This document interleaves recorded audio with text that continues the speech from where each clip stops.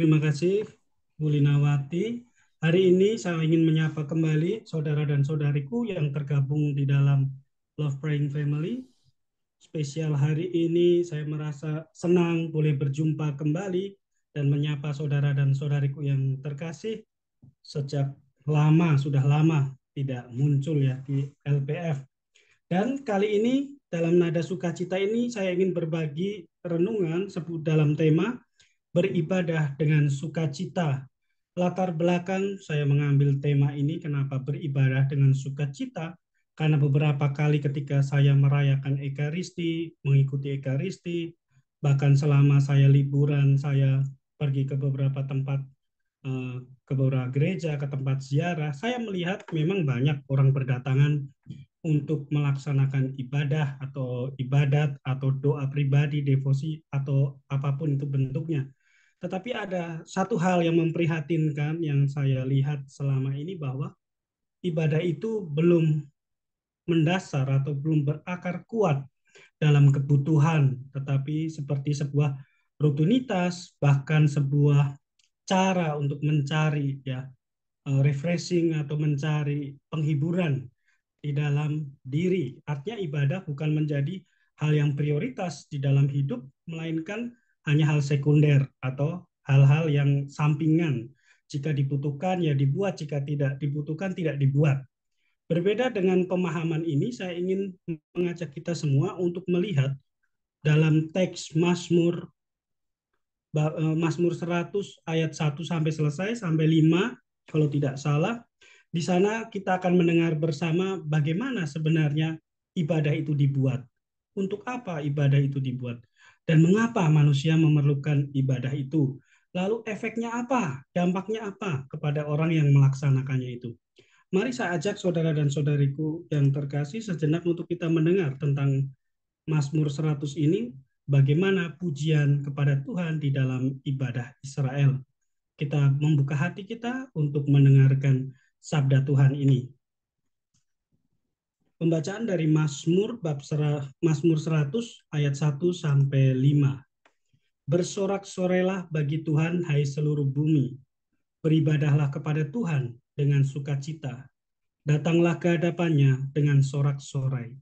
Ketahuilah bahwa Tuhanlah Allah, dialah yang menjadikan kita, dan punya dialah kita umatnya, dan kawanan domba gembalaannya. Masuklah melalui pintu-pintu gerbangnya dengan nyanyian syukur, ke dalam pelatarannya dengan puji-pujian. Bersyukurlah kepadanya dan pujilah namanya, sebab Tuhan itu baik, kasih setianya untuk selama-lamanya, dan kesetiaannya tetap turun-temurun.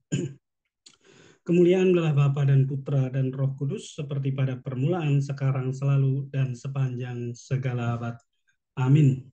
Next, Pak Kusnen. Ada empat hal yang ingin saya bagikan pada malam hari hari ini untuk kita semua. Yang pertama tentang apa itu ibadah, arti ibadah. Kalau orang tidak memahami tentang apa itu beribadah, maka orang tidak tahu apa yang dilaksanakan di dalam ibadahnya itu. Atau kebutuhan apa yang harus dibuat sehingga dia melaksanakan ibadah itu. Dalam Mazmur yang berjumlah lima, ada lima, lima ayat ini, menekankan yang pertama di dalam ibadah itu dalam arti ibadah itu sebagai sebuah pujian, sebagai sebuah syukur, dan juga menjadi wakil atau menjadi ekspresi dari terima kasih manusia kepada Tuhan yang menciptakan. Kita bisa fokus pada ayat yang kelima, dikatakan alasan kenapa orang beribadah adalah sebab Tuhan itu kasih setianya kekal untuk selama-lamanya. Baik kasih setianya untuk selama-lamanya. Artinya bahwa Tuhan itu, kebaikan Tuhan itu tidak pernah berubah dari dulu, sekarang, dan yang akan datang. Sejak manusia diadakan di dunia, sejak kita ada di dalam dunia, kebaikannya itu terus beruntun di dalam hidup kita. Bahkan kalau kita ingat dalam Yeremia bab 1 ayat 6 dikatakan sebelum kita dijadikan Tuhan sudah mengenal kita. Dan bahkan Tuhan sudah memilih kita memberikan kita tugas untuk melaksanakan apa yang seharusnya kita lakukan atau tugas dan tanggung jawab kita di dunia ini. Setiap kita, saudara dan saudariku yang terkasih, yang hadir di dalam dunia ini, yang mengalami kehidupan ini memiliki tugas tertentu yang Tuhan sudah berikan. Maka Tuhan mengajak kita yang pertama-tama untuk mengenal lebih dahulu tentang Dia yang memberikan kesempatan kepada kita untuk mengalami kehidupan ini. Dan Mazmur itu menemukan yang pertama bahwa manusia hadir di dunia itu karena cinta Tuhan, karena kasih Tuhan. Oleh karena itu, manusia hendaknya bersyukur karena dia ada di dalam dunia ini. Karena dia dihadirkan oleh Tuhan. Bahkan dikatakan kesetiaan Tuhan itu turun-temurun. Bukan hanya kepada kita, tetapi juga kepada generasi-generasi berikutnya. Mungkin kita bisa berefleksi bersama, saudara dan saudariku yang terkasih, bagaimana perjalanan hidup di dalam keluarga kita masing-masing.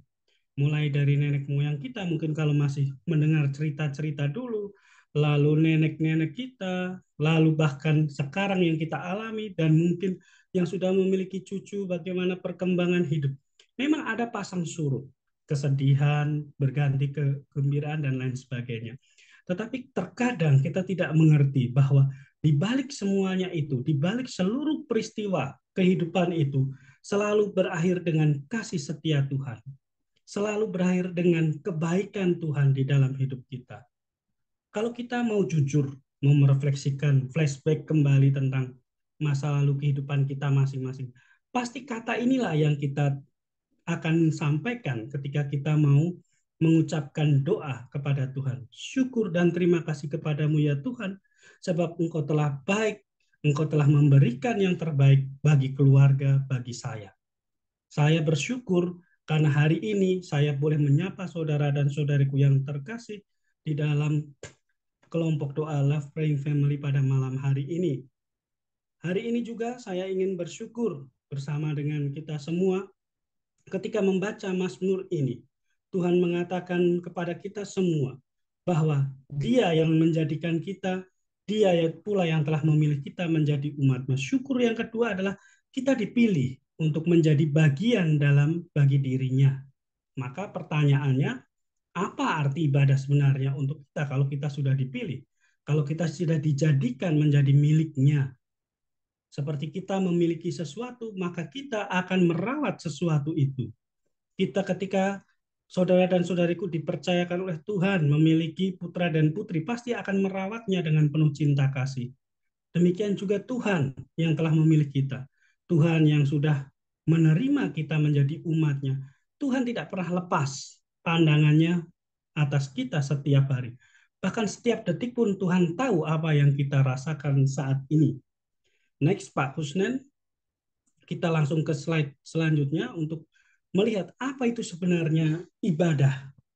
Ibadah sendiri dalam teks kitab suci, ini saya ambil dari bahasa yang paling tua, artinya bahasa yang sudah ada dalam kitab pertama yaitu kitab Kejadian bab 2 ayat 15 kata ibadah ini sudah digunakan yaitu dalam kata avodah kalau kita lihat dalam Kejadian bab 2 ayat 15 digunakan le afdah dengan kata kerja afat.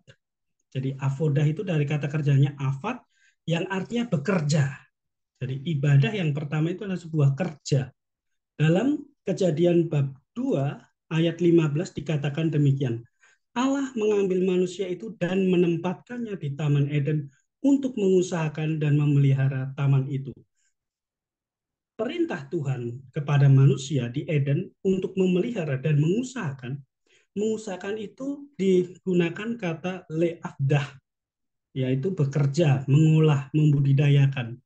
Jadi ibadah juga sebuah kultivasi atau pengembangan, ya, menumbuhkan jadi ibadah bukan hanya datang, lalu kita mengucapkan doa, lalu selesai menunggu hasil. Tetapi adalah ada sebuah usaha, ada sebuah kerja.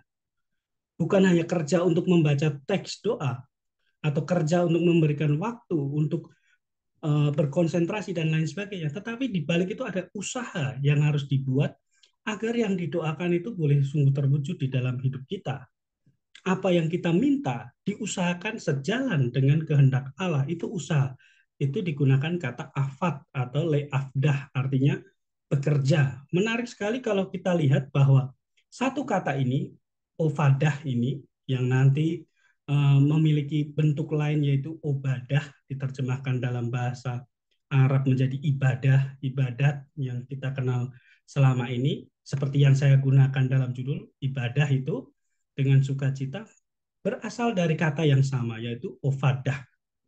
Tiga pengalaman ini memberikan makna yang uh, kaya sekali untuk untuk uh, mengerti kata ini. Kalau kita jelaskan dalam 30 menit memang agak susah untuk mengerti tentang ibadah ini, tapi saya akan mencoba untuk mempersingkat dengan menjelaskan hal-hal penting. Yang kedua adalah sebuah pelayanan. Jadi bukan hanya bekerja, tetapi sebuah pelayanan di bait suci digunakan kata ovada ini secara khusus untuk pelayanan para pelayan yaitu mereka yang menyelenggarakan kebaktian mereka yang menyanyikan puji-pujian mazmur dalam ibadah mereka yang membaca teks Taurat ketika mereka beribadah. Nah, pekerjaan itu dinamakan ofadah, yaitu dalam bentuk pelayanan suci. Lalu selain pelayanan suci juga pelayanan kepada sesama, sesama manusia. Jadi orang yang melayani, misalnya dengan gerakan cinta kasih, menolong orang yang sakit, atau seperti kita lihat dalam bacaan kitab suci itu dalam Injil, uh, orang Samaria yang baik hati, pekerjaan yang dilakukan itu adalah ofadah. Maka pelayanan itu bagian dari ibadah, tidak bisa terlepas antara pelayanan dan doa atau kebaktian. Kebaktian tanpa doa itu seperti orang Farisi dan seperti ahli Taurat yang ketika melewati jalan itu melihat orang yang dirampok dan terluka hanya lewat saja. Tidak bisa memberikan makna ibadah yang sebenarnya. Karena dia lihat jamnya sekarang adalah jam untuk sembahyang di bait suci. Sedangkan orang Samaria melihat orang yang sakit, melihat orang yang membutuhkan pertolongan, dia berhenti. Dia tidak menuju ke bait suci, tapi dia berhenti. Dan dia menolong, merawat sampai selesai, baru dia pergi.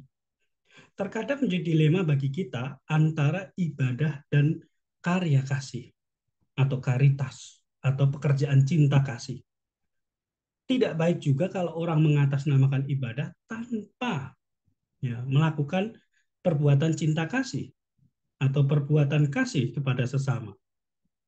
Juga tidak bisa kita hanya melakukan perbuatan kasih kepada sesama tanpa dibekali, tanpa didasari oleh ibadah. Yaitu relasi bersama dengan Tuhan. Nanti kita akan lihat tentang makna ibadah selanjutnya. Lalu selain pelayanan, ibadah juga diartikan sebagai ibadah tadi, obadah tadi, yaitu yang dimaksudkan adalah sebuah kebaktian yang sejati itu dalam satu Timotius eh, bab 6 ayat 6. Jadi 6 6 gampang diingat itu ya satu Timotius bab 6 ayat yang ke-6. Ya, kalau kita lihat di Timotius itu. Jadi ibadah itu adalah ada ibadah yang sejati, ada ibadah yang tadi yang tidak sejati. Ibadah yang sejati selalu berkaitan dengan pemberian diri secara utuh di dalam ibadah itu. Tadi saya ceritakan dalam uh, pengantar bahwa saya prihatin kenapa saya mengambil uh, uh, tema ini karena saya merasa prihatin ketika mengalami atau menyaksikan beberapa bukan mengawasi ya, maka sebagai imam saya lalu ikut misa hadir di dalam gereja merayakan ekaristi tapi mengawasi. Tapi saya ingin mengobservasi melihat bagaimana tata cara ibadah yang dilakukan itu. Jadi bahwa ibadah yang benar itu akan uh, memberikan keuntungan yang besar. Itu dalam satu Timotius ayat bab 6 ayat 6 ya. Bahwa ibadah itu kalau disertai rasa cukup memberi keuntungan yang besar. Rasa cukup ini bisa biasa disebut sebagai kesalehan jadi ketika orang memiliki kesalehan yang benar, tadi tidak melupakan pelayanan, lalu bekerja, ya, menolong dan melakukan hal-hal yang positif di dalam hidupnya, ada transformasi diri, ada keseimbangan antara doa dan juga perbuatannya yang baik, maka akan memberi keuntungan yang besar di dalam hidupnya. Apa itu keuntungan yang besar menurut Timotius bab 6 ayat 6 ini, 1 Timotius ini? Keuntungan yang besar itu adalah yang pertama adalah relasi sukacita bersama dengan Allah. Itu keuntungan yang tak tergantikan. Kita bisa bersukacita dengan banyak hal. Ya. Kita bisa memiliki banyak hal kita bisa bekerja sekuat tenaga untuk menghasilkan banyak hal, tetapi yang banyak hal itu belum tentu menghasilkan yang namanya sukacita yang besar. Ya, keuntungan besar. Sukacita yang besar itu yang tak tergantikan oleh barang-barang di dunia ini adalah seperti harta yang Yesus katakan, harta yang berharga yang dipendam. Lalu orang menemukannya dan rela menjual segalanya demi membeli tanah itu supaya memiliki harta yang berharga tadi. Dan Tuhan sekali lagi mengatakan di dalam nas yang lain bahwa di mana hartamu berada, di situ hatimu berada. Maka ketika relasi dengan Tuhan, Tuhan sendiri yang menjadi harta di dalam diri kita, dan sungguh-sungguh kita rasakan, bukan kita pikirkan dengan ideologi, dengan ide-ide kita, dengan harapan-harapan kita. Sekali lagi, banyak orang ya dalam tanda kutip tersesat karena menciptakan Allah menciptakan Tuhan dengan proyeksi, dengan pemikiran dan keinginannya sendiri. Banyak orang zaman sekarang memiliki Allah modelnya sendiri. Yesus modelnya sendiri, Bapa modelnya sendiri, Roh Kudus modelnya sendiri. Tidak mau mengikuti seperti apa yang diwahyukan oleh Allah. Tadi dalam Mazmur jelas sekali, Allah itu setia. Dan kasih setianya itu untuk selama-lamanya. Jadi kalau kita tidak setia, hidup kita tidak setia, maka kita tidak sebenarnya tidak mengenal Allah. Dan sekali lagi, seperti yang dikatakan oleh Yesus kepada perempuan Samaria, kamu menyembah ya, Allah yang tidak kamu kenal. Kami menyembah Allah yang kami kenal. Sebab Tuhan itu disembah di dalam roh dan kebenaran, bukan di gunung ini, di tempat ini, di Yerusalem, dan di mana-mana. Tapi Allah disembah di dalam roh dan kebenaran. Artinya, Orang harus menemukan kebenaran itu sendiri, yaitu Yesus. Ketika orang memiliki kebaktian yang benar, relasi yang benar di dalam ibadahnya, ibadah ini secara general, secara umum sangat luas, bisa dimengerti dalam misalnya doa, bukan hanya ekaristi. Kita tidak bisa mendefinisikan ibadah hanya dengan ekaristi, tetapi doa pribadi kita itu sebuah ibadah, kebaktian, sebuah pelayanan, sebuah pekerjaan, dan bahkan ekspresi cinta kasih ketika kita mendoakan seperti kelompok doa ini, Love Praying Family ini setiap malam dengan tekun mendoakan. Itu adalah sebuah ibadah, sebuah pelayanan, sebuah kerja. Oleh karena itu, saudara dan saudariku yang terkasih, kita diminta untuk mengerti terlebih dahulu akar atau arti yang mendalam tentang apa itu ibadah. Supaya seperti tadi yang saya katakan di awal bahwa banyak orang datang untuk beribadah tetapi tidak mengerti apa yang dia lakukan. Kepentingan apa ya saya datang ke sini? Mungkin rutinitas, kewajiban, ya mungkin rasa malu, mungkin ya karena tidak ada pekerjaan lain untuk dibuat, maka saya buat beribadah. Ya. Artinya menjadi hal-hal sekunder. Banyak orang datang untuk mengikuti perayaan Ekaristi tanpa persiapan. Padahal Ekaristi adalah puncak dari ekspresi iman kita sumber dan puncak dari hidup iman kita adalah ekaristi. Tetapi sering saya temukan di gereja-gereja sebelum misa, ya kebetulan saya libur, jadi saya mengikuti ekaristi, tidak mengenakan pakaian biara, sehingga saya dengan bebas bisa duduk di tengah-tengah umat, dan saya mulai melihat banyak hal. Orang sebenarnya tidak mengerti apa yang dia lakukan di dalam perayaan ekaristi.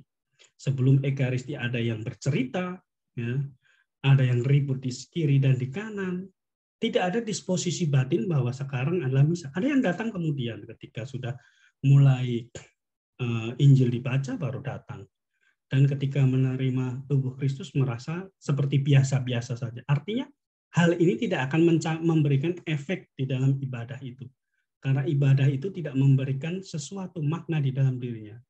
Saya tidak mau menghakimi ya mungkin datang terlambat karena ada urusan yang lebih penting, misalnya menolong, misalnya ada kejadian apa di rumah, orang sakit dan lain sebagainya, itu urusan dari orang tersebut. Tetapi yang mau saya katakan bahwa di dalam perayaan apa pun juga, mau Ekaristi, mau doa kelompok, mau doa pribadi, harus ada disposisi batin yang jelas. Saat ini saya mau buat apa? Kalau tidak, tidak akan memberikan keuntungan yang besar, seperti yang dikatakan oleh Paulus kepada Timotius dalam suratnya tadi ya ibadah itu, kesalehan itu, jika disertai dengan rasa yang cukup atau kesalehan yang benar, akan memberikan keuntungan yang besar. Next, Pak Kusnen. Jadi, beribadah tadi juga disebut sebagai pelayanan. Ya. Layanilah Tuhan. Bahkan dalam arti tertentu dalam teks tadi dikatakan bahwa sebagai memberkati. Nah, pertanyaannya aneh. Bagaimana kita bisa memberkati Tuhan? Tuhan yang memberkati manusia, tapi bagaimana kita bisa memberkati Tuhan? Ya. Uh, ilustrasinya secara sederhana demikian. Ketika kita memberikan kado, misal seorang ayah atau ibu memberikan kado kepada anak-anaknya yang anaknya yang sedang berulang tahun, lalu uh, si penerima itu mengucapkan terima kasih. Maka di sana ucapan terima kasih itu menjadi berkat bagi orang yang memberikan tadi. Jadi terima kasih, artinya ketika kita memberi, kita menerima kembali kasih itu. Kenapa kita diajarkan terima kasih? Padahal kita yang memberi. Tetapi kita menyebutkan terima kasih. Ya, ketika ucapan itu terima kasih muncul, itu memberikan bahwa kita diberkati oleh karena kita memberi. Kita menerima kasih itu. Demikian juga misalnya di zaman modern ini, eh, sekarang kan tidak perlu repot-repot kita berbelanja, ya ada COD COD itu. Ya, seperti itulah ketika kita mem membeli sesuatu dan kita menerima, orang memberikan uh, uang dan kita memberikan itu, itu saling memberkati dalam tanda kutip. Artinya ketika kita memberi, kita menerima. Demikian juga Allah. Allah yang memberkati manusia, menciptakan manusia. Allah akan merasa dalam tanda kutip ya diberkati dengan ucapan syukur, dengan terima kasih dari kita. Kita ingat orang kusta, ya, ada 10 orang kusta yang disembuhkan oleh Yesus, yang kembali hanya satu. Itu orang yang beribadah dengan benar atau orang yang sungguh-sungguh memberkati, menerima berkat Tuhan dan memberkati Tuhan. Jadi kata memberkati itu juga bisa dalam arti tertentu seperti memuji Tuhan. Itu salah satu bagian dari ibadah. Ya. Kita menerima keselamatan dari Tuhan dan kita memberkati Tuhan ketika kita menyerahkan diri kita kepadanya, kepada Tuhan. Yang sembilan tadi ya dalam tanda kutip tidak tahu berterima kasih, ya tidak tidak mendapatkan berkat yang sesungguhnya sebab dia tidak kembali untuk memberikan kasihnya kepada Tuhan, dirinya kepada Tuhan. Ya, mengapa manusia beribadah? alasan utama manusia beribadah tadi adalah syukur, ucapan syukur. Oleh karena Tuhan memberikan kasih kepada kita, maka kesadaran pertama yang harus dibangun di dalam diri kita adalah syukur. Orang yang tahu mensyukuri hidupnya, orang yang bisa beribadah dengan benar. Selama dalam hidup kita belum tahu bersyukur, sekecil apa pun, kita tidak akan mampu beribadah dengan benar. Artinya, kita tidak akan mampu menghidupi ibadah itu secara benar. Tidak ada pembaharuan dan perubahan dalam diri kita. Maka ucapan syukur ini menjadi hal yang esensial, yang utama. Coba kita lihat doa Bapa kami yang diajarkan oleh Yesus ya. Yang pertama adalah syukur, memuji. Ya, dalam tanda kutip tadi memberkati Allah, memuliakan Allah. Kenapa? Karena dia yang memberikan berkat kehidupan barulah ada permohonan dan lain sebagainya. Dan inilah yang sering hilang di dalam diri kita. Rasa syukur ketika kita berdoa. Kadang orang ya, mendefinisikan doa itu dengan meminta. Orang mendefinisikan doa itu mempersempit doa itu hanya ketika membutuhkan atau doa itu sebagai sarana untuk ya menghibur diri bahkan ya karena tidak ada orang yang mungkin bisa diajak bicara, maka dia berbicara dengan Tuhan, meluapkan isi hatinya dengan Tuhan di dalam doa itu. Tanpa mengetahui Tuhan yang mana sebenarnya. Saya sedang mengatakan apa dalam diri saya.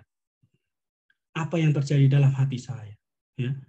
Kadang ini hanya menjadi doa kita menjadi ekspresi ya, dalam hati, tetapi tidak ada rasa syukur atas kasih Tuhan di dalam diri kita kehilangan rasa syukur itu menyebabkan kita tidak mampu berdoa dengan benar. maka doa kita akan cenderung egois. Doa-doa yang egois, doa-doa yang menginginkan atau memusatkan keinginan diri saya untuk dipenuhi dalam kondisi apa pun ya dalam kondisi apa pun. Yesus mengajarkan kita untuk berdoa menyerahkan sesuai dengan kehendak Allah. Bahkan di Getsemani kita ingat saudara dan saudariku yang terkasih apa yang dikatakan oleh Yesus di Getsemani di dalam doanya biarlah piala ini berlalu piala itu penderitaan Yesus mengatakan Bapak biarlah penderitaan ini berlalu. Sebagai manusia ada kecenderungan itu untuk menghindari penderitaan. Tetapi Yesus mengatakan di akhir doanya, ya bukan karena kehendakku, tetapi kehendakmu terjadilah. Artinya bahwa penderitaan ini bukan berlalu itu artinya dihilangkan oleh Tuhan.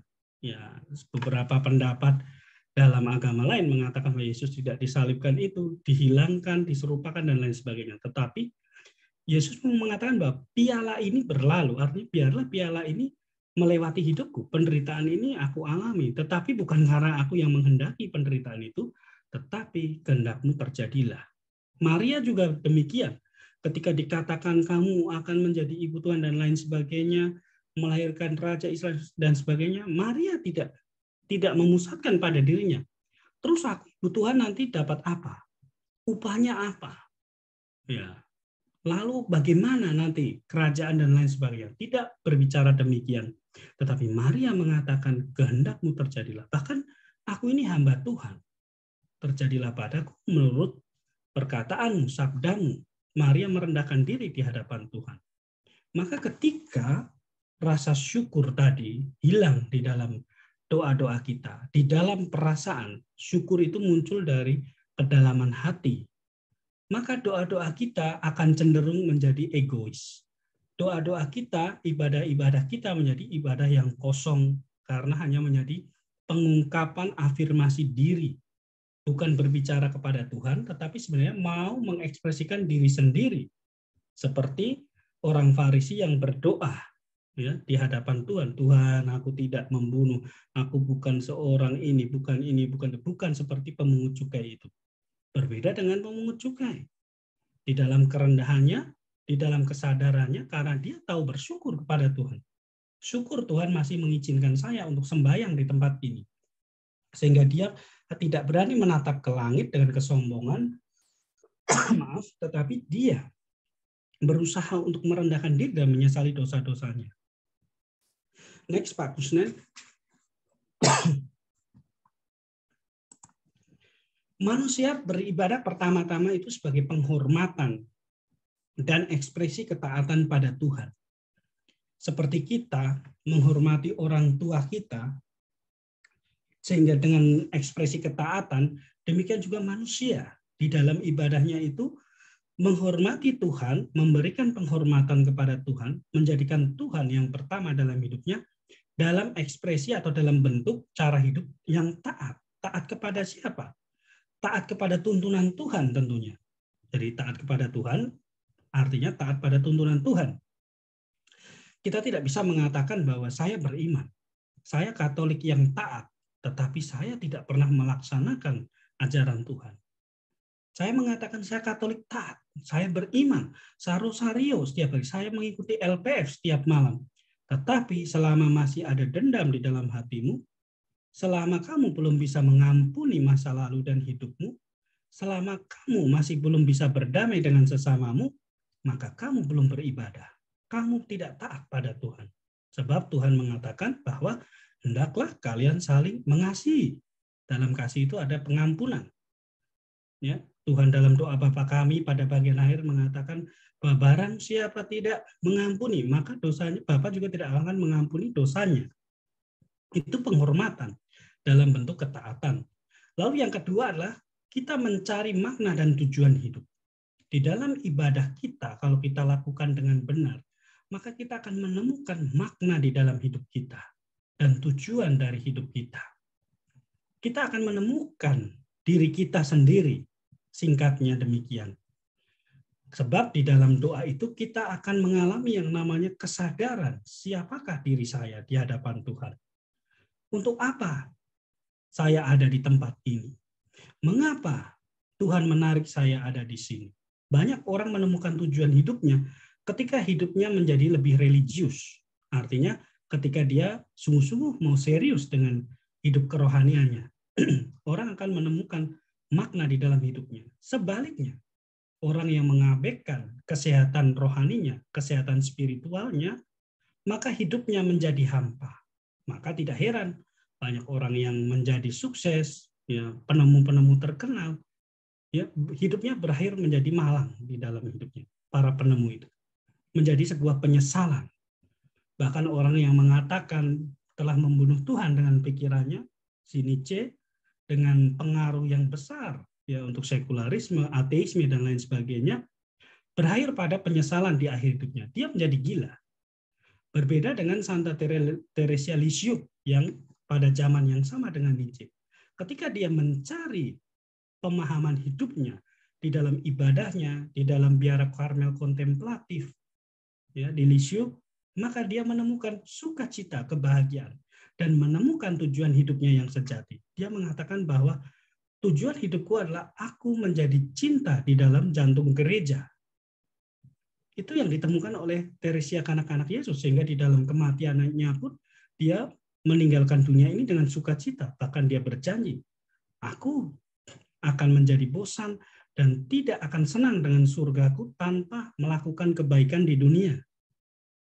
Jadi dia mau turun ke dunia kalau di surga dia tidak bisa melakukan satu hal baik di dunia.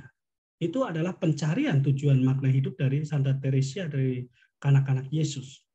Lalu yang berikutnya adalah memperkuat hubungan dengan Tuhan. Kita hanya bisa berbicara dengan Tuhan di dalam ibadah kita. Maka ibadah itu juga sebuah relasi. Kita bisa bayangkan, saudara dan saudariku yang terkasih, ketika kita merayakan Ekaristi, ketika kita berdoa bersama, pikiran kita tidak fokus, hati kita tidak fokus, tidak terarah. Itu seperti ketika kita berbicara dengan orang yang kita kasih sambil main HP, sambil memikirkan hal-hal yang lain, tidak konsentrasi. Bagaimana perasaan orang yang mengetahui akan hal itu? Demikian juga Tuhan. Ketika kita berjumpa dengan Tuhan di dalam ibadah kita, lalu pikiran dan hati kita di tempat lain, bagaimana perasaan Tuhan yang mengasihi kita? Sehingga ketika kita sungguh-sungguh ya masuk di dalam uh, jaringan ya bisa dikatakan begitu, koneksi bersama dengan Tuhan ketika kita berdoa, kita menyatu hati dan pikiran kita di dalam doa-doa kita terpusat pada Tuhan, maka hubungan kita akan semakin erat. Seperti relasi yang kita jalin dengan orang yang baru pertama kita kenal, dan kemudian setelah kita akrab karena selalu mengontak, selalu bekerja sama, seperti yang saudara dan saudariku alami di dalam LPF ini karena setiap hari berjumpa, lalu mungkin ada sharing di dalam chat atau WA masing-masing atau WA grup, saling menguatkan di sana menjadi relasinya menjadi semakin kuat. Demikian juga dengan Tuhan. Ibadah kita yang berkualitas menjadi relasi kita dengan Tuhan yang berkualitas. Lalu efeknya apa? Memberikan kesejukan dan kedamaian dalam jiwa. Kita tidak cepat terombang-ambing, bahkan kita tidak cepat terganggu. Ciri-ciri yang terganggu itu apa? Takut, cemas, ya, berprasangka buruk, ya, lalu mengalami misalnya sakit-sakit, sakit kepala, ya, misalnya karena takut tadi ya, lalu mulai tensi naik dan lain sebagainya. Hidupnya selalu dicemaskan oleh hal-hal kecil. Kalau tidak ini bagaimana ya Tuhan? Kalau tidak itu bagaimana ya Tuhan? Tuhan ini Tuhan selalu cemas hidupnya. Tidak ada kedamaian meskipun Tuhan mengatakan jangan takut. Aku menyertai kamu. Itu kata-kata Tuhan di akhir Injil. Jangan takut, aku menyertai kamu sampai akhir zaman. Tetapi sering kita gelisah, kita takut, dan lain sebagainya. Yaitu ekspresi manusiawi, tetapi kalau berlebihan, itu menjadi pertanyaan tentang bagaimana relasi kita dengan Tuhan. Kalau sungguh kita memiliki relasi yang kuat, yang akrab dengan Tuhan, maka tidak ada ketakutan dan kecemasan yang berlebihan. Takut dan cemas itu normal. Ya. Tetapi kalau sudah berlebihan, itu menjadi tidak normal karena berarti kita tidak memiliki kekuatan pegangan kepercayaan di dalam diri kita. Lalu ketika manusia beribadah itu karena sebuah kebutuhan spiritual, ada kerinduan dari dalam batinnya. Maka ibadah tanpa kerinduan di dalam hati, berarti ibadah itu adalah sebuah ibadah yang kosong seperti saya katakan tadi. Tidak akan pernah menghasilkan perubahan hidup. Ingat bahwa diri kita yang dibentuk oleh kekuatan intelektual, kekuatan emosional, bahkan kekuatan psikologi di jiwa kita diikat oleh satu kekuatan yang bisa menyetabilkan atau menyeimbangkan kekuatan-kekuatan itu, yaitu adalah kekuatan kecerdasan spiritual. Orang yang memiliki kecerdasan spiritual yang baik, maka dia bisa menyeimbangkan antara intelek, emosi, bahkan psikologinya, karakternya, kemampuan-kemampuannya menjadi orang yang efektif, menjadi orang yang hidupnya integral, yang baik, tidak terpecah hidup yang terpecah itu sering menjadi plin-plan atau sering menjadi tidak utuh ya. Dia ingin ini tetapi buat yang lain. Dia buat yang lain tetapi menginginkan ini. Sehingga yang terjadi hanyalah penyesalan demi penyesalan. Next Pak Kusnin menarik sekali kalau kita melihat hubungan antara Tuhan dan ibadah manusia. Sebenarnya Tuhan butuh tidak ibadah kita? Tuhan tentunya tidak membutuhkan ibadah kita sama sekali. Karena Tuhan itu sempurna. Sebaliknya, manusia yang membutuhkan Tuhan. Maka ibadah itu adalah sebuah jembatan sebenarnya antara dimensi. Kita ingat ketika uh, kisah dari orang kaya yang menderita di api, di api neraka, lalu Lazarus yang di pangkuan Abraham dikatakan bahwa ada jurang yang memisahkan ya jurang yang tak terlampaui, yang dari atas tidak bisa ke bawah, yang dari bawah tidak bisa menuju ke surga. Nah, jurang itu bisa dijembatani di dalam dunia. Ya, ketika sudah di dalam kehidupan kekal itu sudah keputusan final, tetapi di dalam dunia jurang itu masih bisa dijembatani, yaitu melalui ibadah.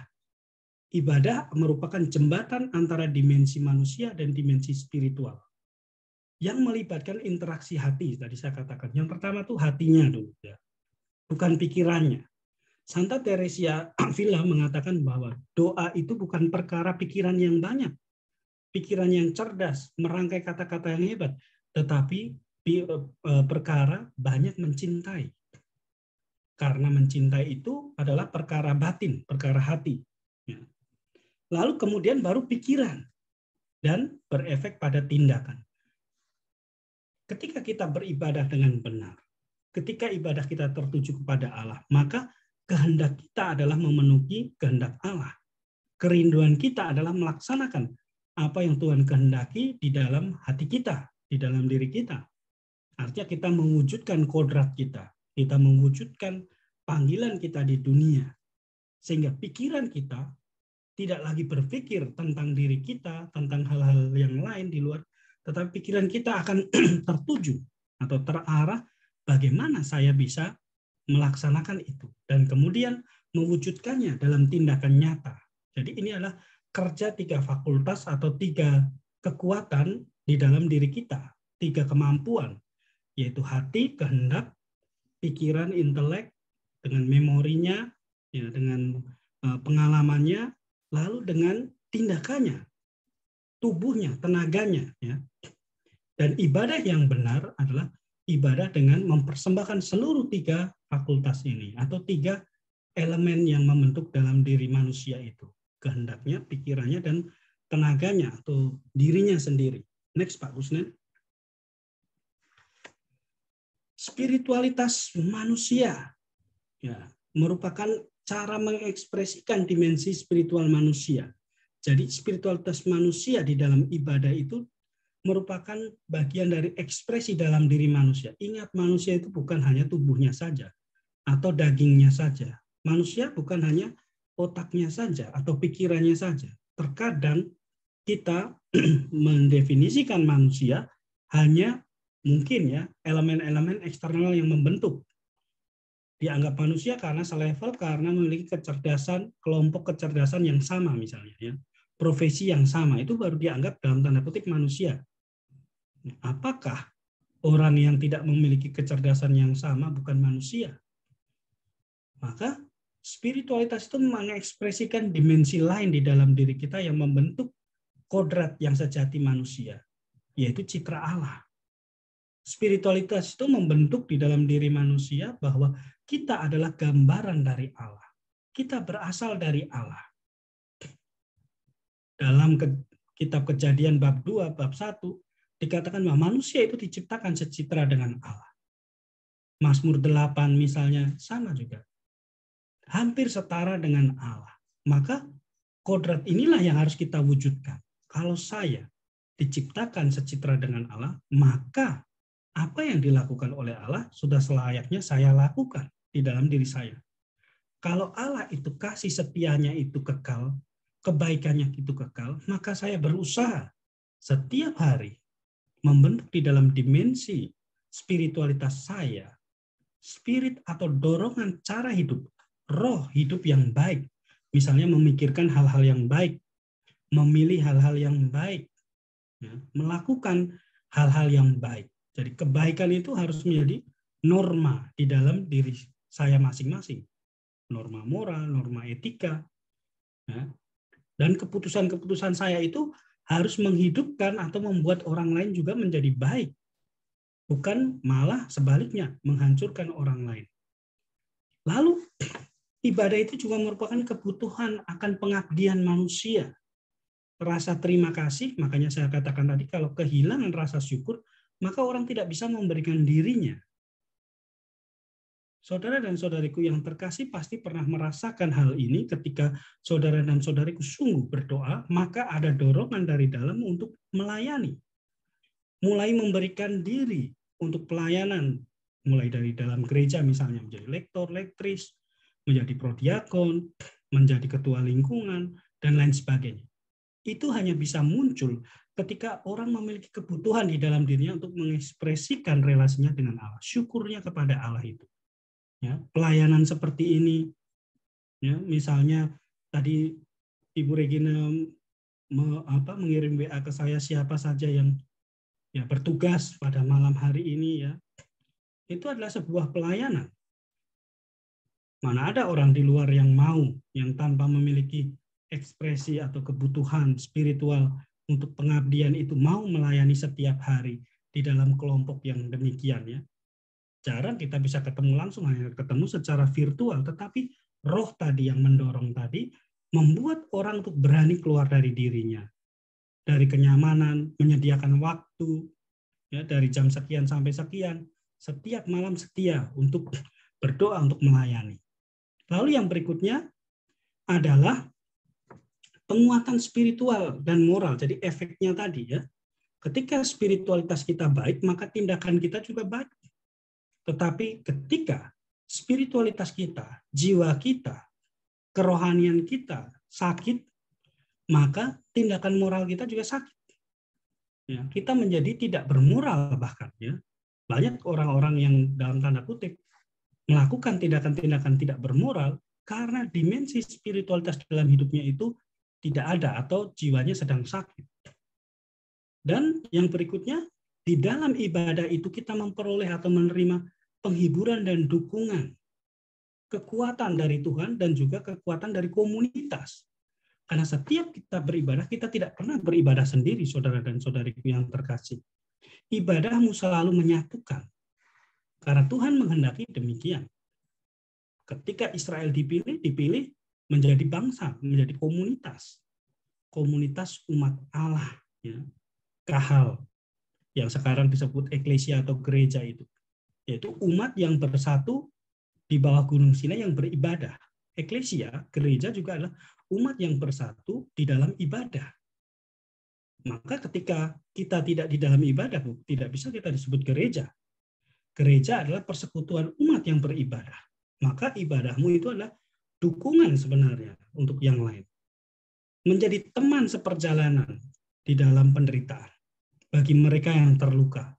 Menjadi teman bagi mereka yang sedih. Menjadi teman bagi mereka yang diasingkan. Meskipun secara fisik kita tidak bisa hadir. Tetapi dalam spiritual, dalam roh, kita hadir melalui doa-doa kita. Itu yang menguatkan. Maka selalu memberikan penghiburan dan dukungan ibadah kita itu. Ibadah kita tidak pernah menjadi egois. Ibadah kita selalu keluar dari dalam diri kita untuk orang lain.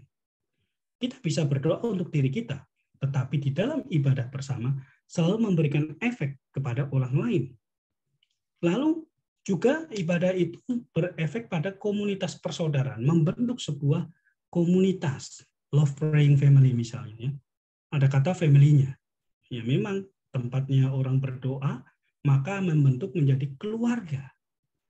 Dan keluarga ini pasti memberikan cinta kasih di dalamnya. Dan cinta kasihlah itu yang menyembuhkan. Karena di mana ada cinta kasih, di situ Tuhan hadir. Dan cinta kasih Allah, roh ini, yang akan membawa kesembuhan, penyembuhan bagi dunia, bahkan bagi yang sakit. Banyak kok pengalaman dari kelompok ini yang ketika didoakan setiap malam ya mengalami kesembuhan, mengalami sukacita di dalam hidup bisa menerima situasi yang sulit di dalam hidupnya. Ya, tidak mati imannya. Itu adalah komunitas persaudaraan. Yang artinya baik suka maupun duka kita selalu berada bersama-sama. Itu adalah persaudaraan. Lalu yang berikutnya adalah ada transformasi diri. Ini garis harus digarisbawahi hal yang paling penting bahwa di dalam ibadah kita ya, yang bisa kita lihat secara jelas efeknya adalah perubahan dalam diri. Setiap orang yang beribadah dengan benar pasti ditemukan dirinya itu menjadi pribadi yang baru. Pribadi yang semakin lebih baik setiap hari. Dan menjadi lebih aneh ketika orang rajin beribadah, tetapi pribadinya menjadi semakin buruk. Perbuatannya, kata-katanya itu menjadi hal yang harus dipertanyakan. Karena efek dari ibadah yang benar adalah ada transformasi diri. Artinya dari yang tidak baik menjadi yang baik. Seperti para rasul ketika dia sungguh-sungguh beribadah, mereka beribadah sebagai komunitas Kristen, ada perubahan yang luar biasa di dalam diri mereka. Petrus yang tadinya ya bertindak lebih dahulu baru berpikir kemudian dalam perjalanan waktu dia mulai belajar sebagai pemimpin maka dia harus berkonsultasi kepada Roh Kudus. Harus mengikuti bimbingan Roh Kudus, tidak bisa terbawa emosi. Paulus misalnya ya menjadi seorang penganiaya jemaat menjadi pewarta Injil yang ulung, rasul bagi bangsa-bangsa. Itu ada transformasi. Ibadah itu artinya mengubah diri kita. Next Pak Rusne. Efek ini yang terakhir adalah efeknya apa ibadah ini ya. ketika kita melakukan ibadah, bukan hanya ritual keagamaan, tapi ibadah, efeknya apa? Tadi kita kita katakan ada kedamaian dan ketenangan jiwa. Itu yang pertama pasti. Orang menemukan kedamaian di dalam ibadahnya. Kalau sungguh-sungguh beribadah. Lalu ada penyegaran di dalam diri. Penyembuhan luka, ada energi positif. Bahkan penyembuhan luka batin, kekecewaan dan lain sebagainya depresi itu bisa disembuhkan, relasi misalnya bisa disembuhkan dengan energi positif yang kita terima di dalam ibadah yang benar.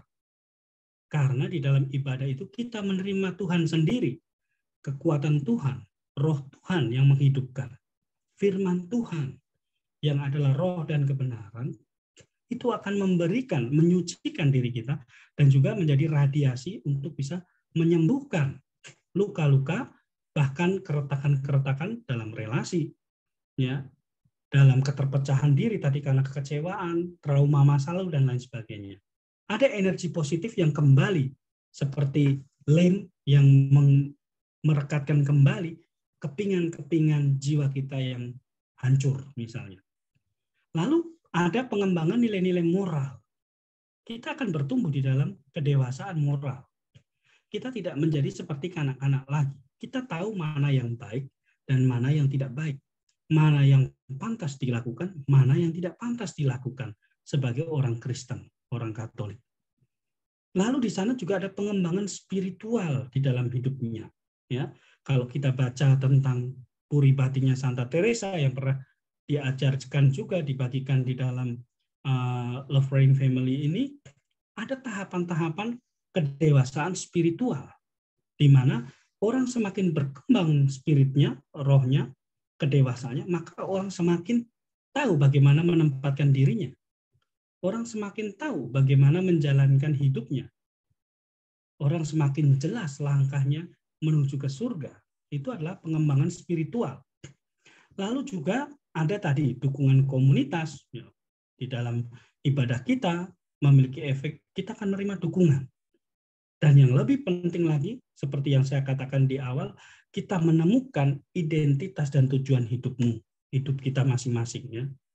Kita akan menemukan tujuan hidup kita kalau sungguh-sungguh kita mau mengembangkan hidup kerohanian kita, hidup spiritualitas kita. Jangan dipikir orang yang sudah dewasa usianya memiliki tujuan hidup yang jelas.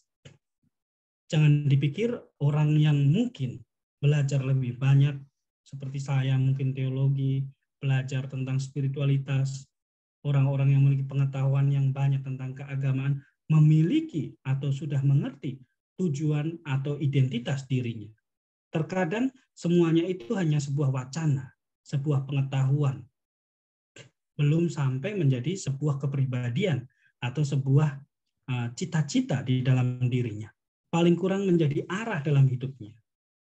Banyak orang-orang yang ya mengikuti kursus ini dan itu haus akan pengetahuan tentang agama, bahkan mempelajari banyak dokumen dari gereja, ajaran-ajaran gereja, ya belum mengerti tujuan hidupnya sebenarnya mau seperti apa. Bahkan ibadahnya saja menjadi ibadah yang tanda, tanda kutip ibadah yang palsu. Kenapa? Karena mau menampilkan diri seperti orang Farisi. Orang Farisi orang yang pintar, mengetahui seluk-beluk semua aturan Taurat. Tetapi ibadahnya dicelah oleh Yesus karena belum menjadi identitas. Dia tidak tahu tujuannya untuk apa sebenarnya saya menghidupi semua pengetahuan itu. Karena pengetahuan itu hanya menjadi sebuah wacana tadi, menjadi ilmu pengetahuan, menjadi pemahaman, tetapi tidak mau melakukan. Itu yang menjadikan kita tidak maju dalam hidup rohani. Next, Pak Rusnil. Untuk itu kita diajak untuk merenungkan Roma bab 12 ayat 1, mungkin nanti bisa dibaca perlahan-lahan di dalam doa pribadi masing-masing tentang ibadah yang sejati itu seperti apa. Ini menjadi kata kunci dari refleksi kita. Selain Mazmur 100 ya ayat 1 sampai 5 juga Roma 12 ayat 1 itu menjadi kata-kata kunci untuk refleksi kita. Untuk memahami, untuk mengevaluasi bahkan untuk bisa menjadi acuan di dalam kemajuan hidup rohani kita, peristiwa melalui ibadah. Dikatakan demikian. Karena itu saudara-saudara, demi kemurahan Allah, aku menasihatkan kamu, supaya kamu mempersembahkan tubuhmu sebagai persembahan yang hidup, yang kudus, dan yang berkenan kepada Allah. Itu adalah ibadahmu yang sejati. Mempersembahkan tubuh sebagai persembahan yang hidup, kudus dan berkenan kepada Allah. Yaitu melalui apa? Melalui semuanya tadi yang sudah kita sharingkan bersama di dalam renungan pada malam hari ini. Sehingga ketika ibadah yang sejati ini kita lakukan, ketika kita mempersembahkan tubuh kita, tubuh artinya diri kita, ya bukan hanya sarsnya saja, tapi melakukan soma, artinya semua tubuh dan jiwa kita kita persembahkan sebagai persembahan yang hidup, karena tubuh tanpa jiwa pasti menjadi seperti mati ya. Tubuh tanpa jiwa itu ya kita bisa sebut sebagai mayat, tidak bergerak, tidak ada kehidupan. Tapi Tuhan menghendaki bahwa mempersembahkan tubuh yang hidup, artinya tubuh dan jiwa kita yang dikuduskan oleh apa? Oleh ibadah tadi, oleh tindakan kita, karya cinta kasih kita, dan yang berkenan kepada Allah. Artinya yang sesuai dengan kehendak Allah, bukan sesuai dengan kehendak saya, atau kehendak saudara dan saudariku masing-masing, tetapi persembahkan dirimu sesuai dengan kehendak Allah, sesuai dengan pelayanan yang Tuhan percayakan kepadamu. Sehingga ibadahmu itu menjadi ibadah yang sejati dan menghadirkan sukacita di dalam dirimu. Dan sukacitamu itu tidak akan pernah diambil daripadamu. Seperti sukacita Maria ketika dia mendengarkan, duduk dan mendengarkan Yesus. Tidak akan pernah diambil dari kita dan itu adalah harta terbesar di dalam hidupmu. Demikian saudara dan saudariku yang terkasih, ibadah yang sejati selalu membawa sukacita di dalam hidup kita, selalu membawa kedamaian, ketenangan, dan juga selalu membawa memberikan energi positif bahkan yang menyembuhkan. Dan kita pun diajak hari ini untuk sungguh-sungguh memulai hari ini, esok, lusa, dan seterusnya untuk beribadah dalam sukacita. Beribadah kepada Tuhan dengan sukacita. Karena kita menemukan sukacita itu di dalam ibadah yang sejati, ibadah yang benar. Kemuliaan adalah Bapa dan Putra dan Roh Kudus, seperti pada permulaan, sekarang, panjang segala. Amin. Terima kasih. Saya kembalikan kuliner